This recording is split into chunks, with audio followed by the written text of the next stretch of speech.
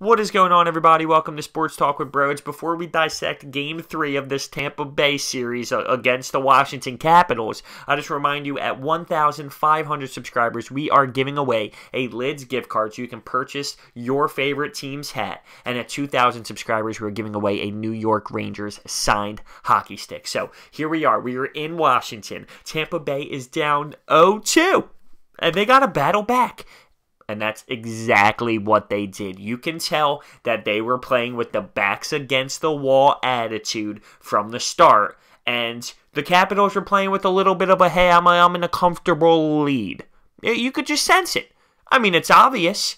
So to start this off on the power play, with seven minutes, six minutes left into the first period, you have Steven Stamkos on the power play, rip a one timer, Point and Hedman get the assist for a one to nothing lead, and that is the only goal in the first period. So after one, you have Tampa Bay with a one to nothing lead, capitalizing on the power play. And just like in game two, they were capitalizing on the power play. So if you're Washington, you got to think at this point, damn, I got to stay out of the box. I got to figure this out because this this Tampa Bay Lightning power play is hurting us. It's absolutely hurting us. Second period, two minutes in. Another power play goal by Kucherov, his seventh of the postseason. Hedman and Stamkos now get the assists, two to nothing, and it was literally almost the same thing. Stamkos's goal was a one-timer, beautiful from the left side that went top titties, top corner, top cheese.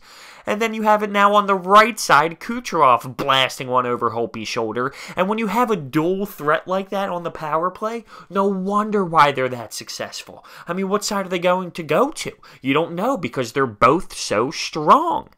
Two to nothing lead. Literally a minute and 47 seconds later, Victor Hedman, his first of the postseason, he had a wide open net. All he had to do was tap it in from the slot because Kucherov and Palat were on the right side and they move it over to the left side of the slot and Holtby just wasn't there. Bang, who's your daddy? What's he do? 3 nothing lead for this Tampa Bay Lightning squad. And you couldn't have asked for a better start when you're down 2 0 in a series going away.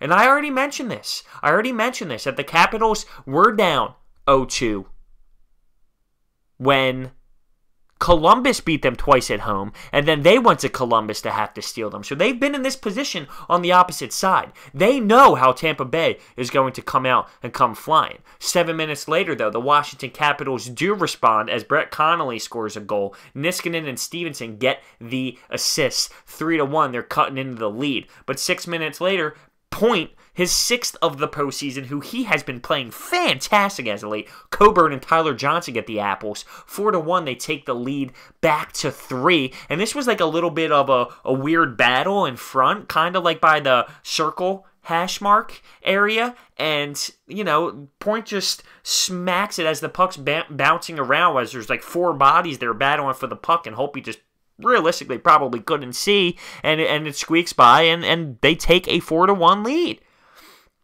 in the third period, Tampa Bay just had to do what they needed to do get pucks deep, play their defensive game, make sure that they're not giving the Capitals too many opportunities.